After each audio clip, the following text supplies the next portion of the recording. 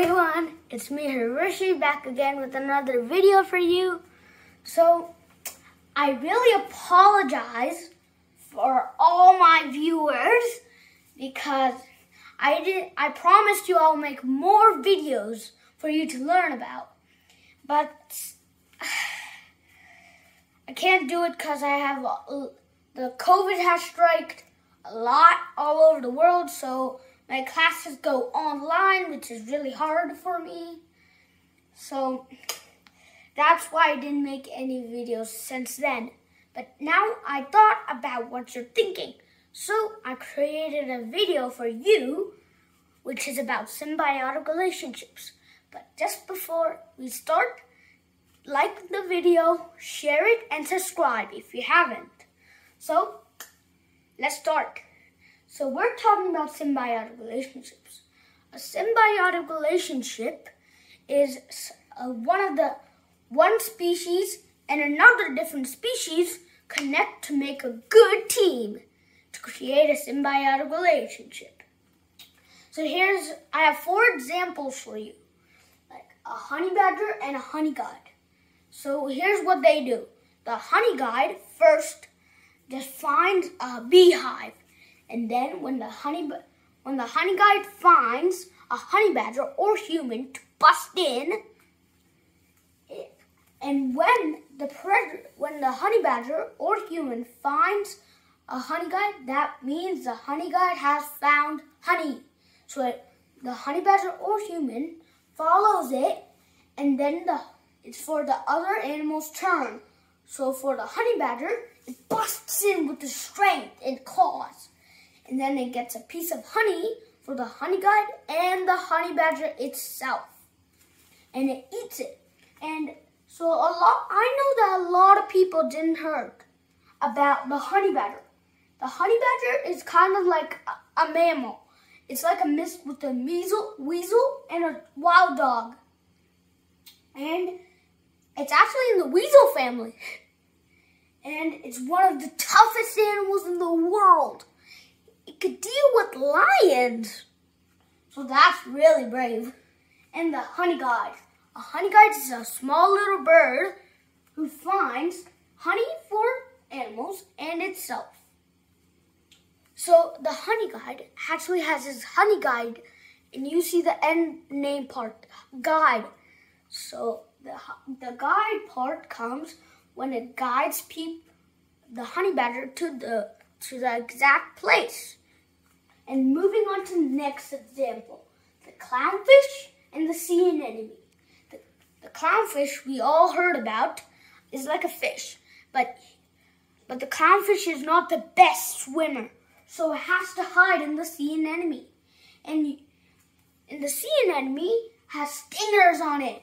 So the clownfish does a little dance, filling with itself with slime, and then it go in here so the sea anemone will think it's actually like one of its tentacles.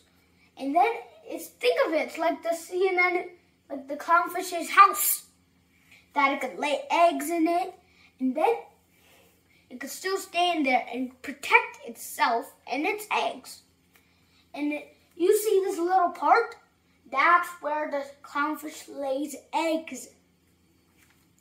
And when the sea anemone covers it up, the predator wouldn't even see it.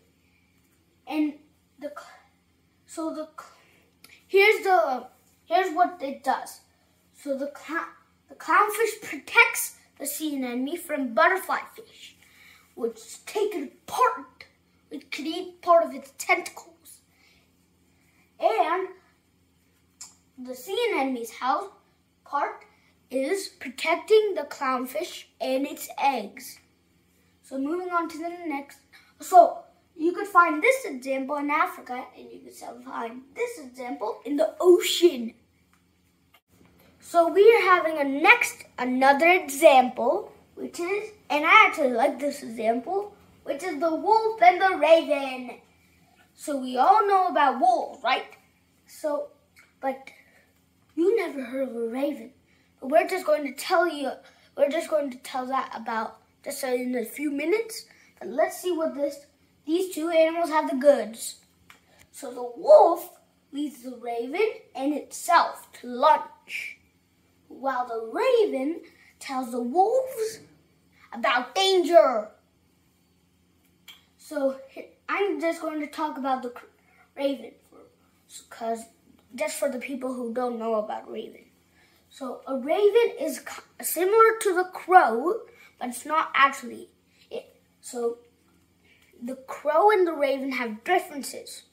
The raven has red or white eyes, or and the crow has black eyes, blending it with the feathers. So that's the differences. And here we have a final example, and which is kind of similar to this one. The rhino and the oxpecker. So the oxpeckers eat the ticks, which are like parasites who drink, who, who eat the blood of the rhinos. So the oxpecker actually eat them because it's a tasty snack for them. So that gives the rhinos a healthy body. And they, the oxpecker's goods is when it flies, the rhino can see it because it has poor eyesight. And it can also warn the rhino about danger. And here's one fact. The, the oxpecker can actually hung on to the, on the rhino while it charges. So that's a creature power. Rhinos are one of the strongest animals in the world. So those are all the examples I have. And you can also find this example in the same way in this way in Africa. So these are all the examples I have. But if you could find more examples, you could tell me down below. So thanks for watching. Bye.